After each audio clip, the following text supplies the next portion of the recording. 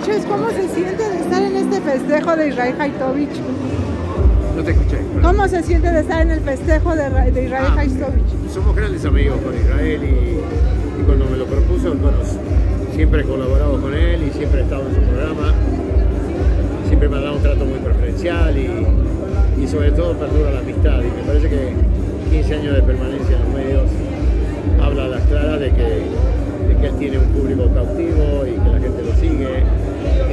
cuidado su producción. ¿no? Entonces, además es un tipazo.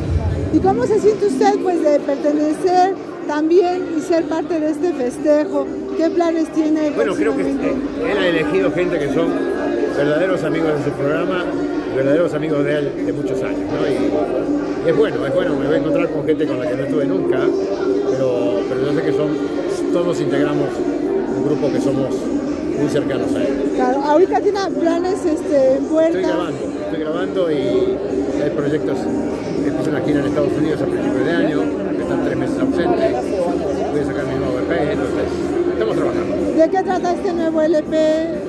¿Es una composición suya este nuevo LP? ¿De Son qué casi trata? todo lo que he cantado hace composición mía, así que Pero va al amor, al desamor, este nuevo tema. conocen mi, mi estilo de escribir. Y ahora hay muchos más motivos que antes.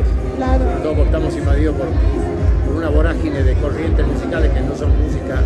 Entonces hay que, creo que hay que reafirmar la cultura de los 80 en, música que fue el techo más alto en calidad de producción y ¿En algún momento le gustaría hacer alguna fusión con algún otro género?